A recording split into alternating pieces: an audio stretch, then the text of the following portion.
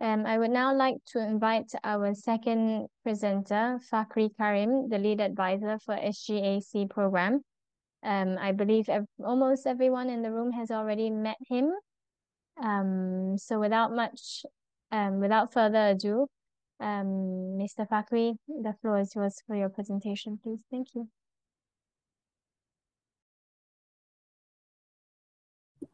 Thank you very much. Uh, thank you very much, Kathleen. Uh, I'm trying to, yeah, good. So somebody shared it now. Sorry, I'm a, a little bit, uh, uh, I got cold since yesterday, so I'm, I'm, a little bit of coughing in the middle. Sorry for that. Lucky we are on the online, so guarantee I will not pass to any of you there.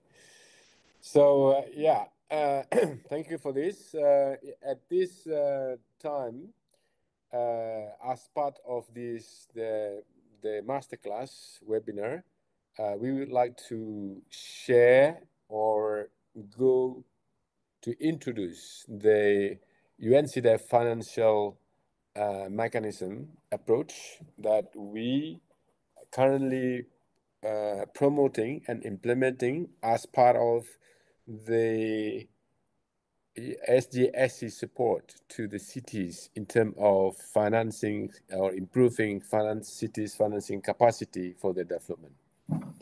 Uh, uh, I believe I met uh, uh most of the participants uh, in either in uh, Banyumas or in the country.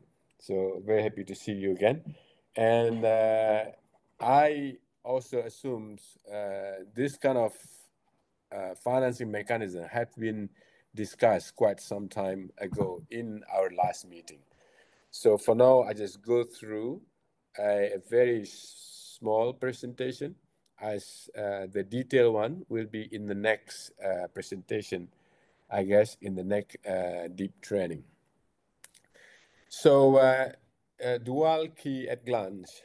in UNCDF, uh, since last 15 years, I'll say, uh, we, based on our experience in uh, supporting or helping uh, local government and cities to improve their financial capacity, we has introduced uh, this dual key financing mechanism. Actually, this dual key financing mechanism been used along the year to source the project and then to do uh, uh, undertake a full due diligence, structure the investment, and then uh, assess both the development impact and financial impact. So it's quite similar to what has been uh, present just now. Uh, the purpose is quite uh, the same to see what are the, the, the development impact and what are the financial key. So based on on the 15 years experience, we somehow has uh, collect a lot of uh, indicators on the the the uh, development impact that we uh, put as part of this dual key financing mechanism. So the first key is the impact key. That is very much the development impact that uh, based on the how that development will impact the local economic development, the emergency response in some countries where you deal with the development post uh, disaster, for example, or post uh, uh, conflict, and then how it impact women economic empowerment, and of course how it impact climate change. And this is where a huge uh, agenda, issues, challenge we are facing, and how it affect food security, and many other impact areas. Oh, later on, when we go detail into this, I, I assume in the next training, in, in the next webinar, we're going to look more detail uh, on each of those impact. And then the second uh, key is financial key, of course. So the financial key it's focused on the financial impacts project. Uh, how that financial uh, will improve the uh, business model uh, of the uh, whatever project pipeline that city is introduced and how that uh, financial key will improve the city's or local government capacity through its project pipeline able to access private finance. So the key in this case, this key is not only look at bankability, because access the finance is not only access private finance, but it's more how to access different sorts of finance. So it's more about how to put the pipeline of project that financeable rather than only bankable. So the pipeline project, which able to finance through public finance, we're able to finance through other sorts of public finance, kind of grant, uh, CSR, or other concessional finance, and also a pipeline that able to access the private finance, uh, such as uh, such as from the bank or other kind of investor. So for sure, as mentioned, it's not only about bankability, but about financeable. So the objective of these uh, tools is to determine a proposed project that has potential sustain uh, in uh, its, its uh, activities. And then, uh, so that, that very much the dual key and uh, what we would like to see in the in the system in the framework. And then uh, to make sure that dual key, is uh, involved with a certain process and quality then we have the step. We have the process of doing this. Uh, i'll quickly go through this as uh, as glenned uh, later on we'll go to detail. Steps one uh, yeah, state A at the organization, state zero, where project sourcing. Project sourcing is very much to identify the project, uh, a potential project uh, at the city or local government level. I guess for collecting SGAC, this is very much what we did during the scoping mission. So we all we're all into this already. So during the scoping mission, we go and sit down, see what are the potential projects it is working on, and then some projects that already uh, financed by the city and we would like to scale up or is still in the ID, or some project is already already working with the private, all those kind of things. So we uh, work at that stage. So I think uh, in this case for SGAC city, uh, except Vietnam, Myanmar, we all already go through this uh, stage one system uh, where we have a potential project identified.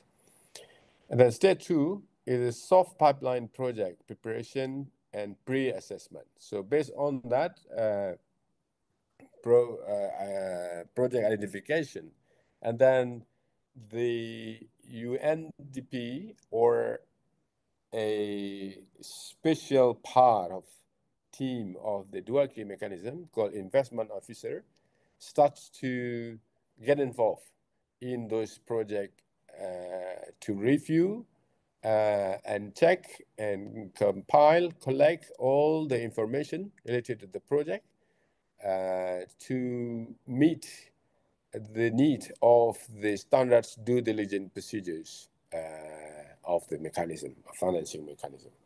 So uh, I believe uh, uh, colleague, for example, in this case, but I think I think some others already know Michael Mboa.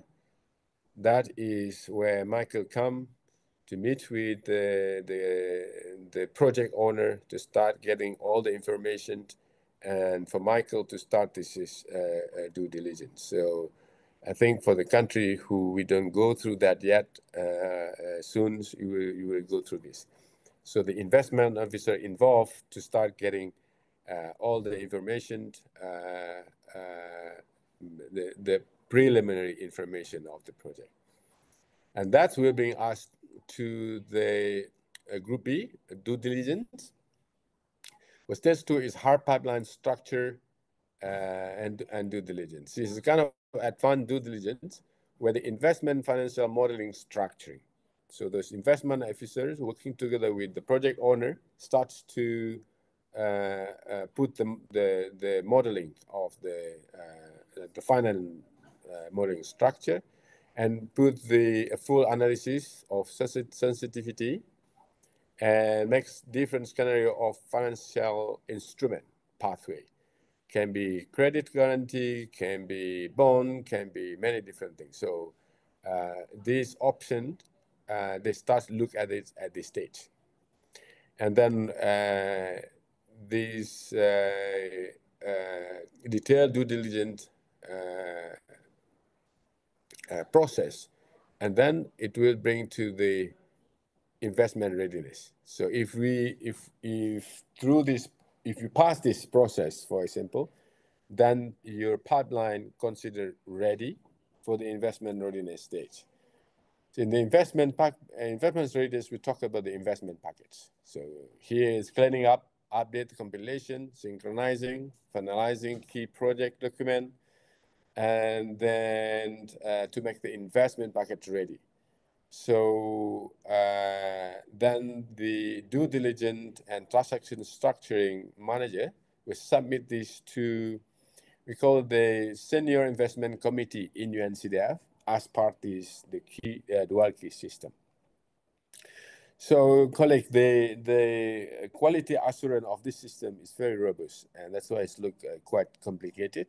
But when you in that process, it will flow by itself easily, I'd say.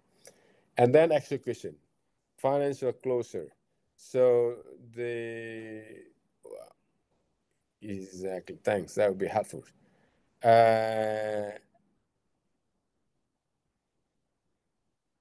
yeah, and then the dual key investment committee uh, will uh, review the, the document and then if you pass this uh, financial committee review, and then the project will be finally uh, approved, and uh, the legal will make the agreement, and then the financial closer, bank equity, and and, and uh, equity and investor. And then after that will be the financial disbursement. Of course, uh, this is uh, where all the projects want to see uh, to make sure I mean they, they, got the fund after the long process. And then uh, remember after the financial disbursement it's not finished. So uh, the bigger part of it in, in fact is the project implementation and then the project operationalization assessment and evaluation and then come back to the impact measurement and reporting. So project implementation very much in this case is not UNCDF or the Dual Key system who want who implement it. It's the project owner who will implement it, but under monitoring and guidance of the uh, key mechanism. So key mechanism will not leave the project owner by itself just like that it will go together, especially to support the monitoring uh, purpose of it.